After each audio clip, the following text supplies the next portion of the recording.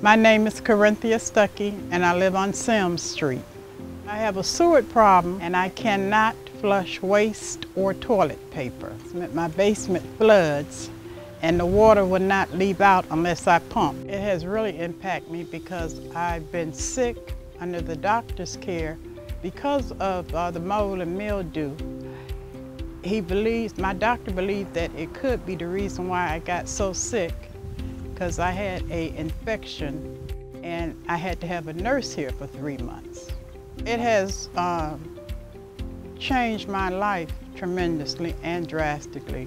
To get this problem fixed, I started with the water department and uh, ended up talking with my councilman in my district, Councilman Spivey, and then um, they connected me to Keith, his staff person.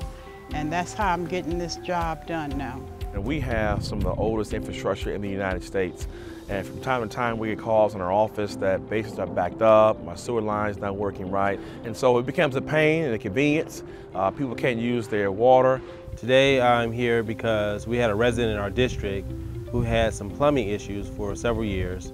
And I met Brian at the NLC conference two years ago and we explored the opportunity for NLC coming to Detroit with their service line project. The National League of Cities is the largest and oldest collection of elected officials in the country. We have 400 plus member cities nationwide. Detroit is not yet a member. They're, they're looking at a partnership with us.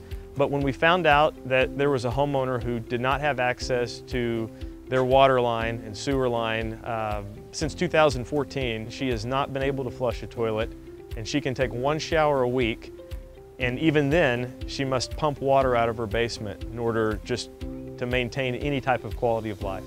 We decided we needed to come out here under our NLC Service Line Warranty Care Program and just donate this service line replacement for this homeowner. NLC is providing a plan which allows us as a contractor to come out and rectify the problem with almost zero cost to the homeowner. After working with NLC for five years, I'm able to see with my own eyes that they really put the customer first. This particular project, the sewer repair, is dynamic and complex in that the sewer is broken within the city roadway. What we are doing right now is we are excavating the gas and water mains so that we can avoid hitting those utilities when we make the repair. Then going to excavate the sewer line, and remove the broken sewer and replace it with a new updated material and add a cleanout access. When the job is complete, Ms. Will have full access of all her facilities, water and sewer. A program like this could save homeowners millions of dollars or a very small monthly cost.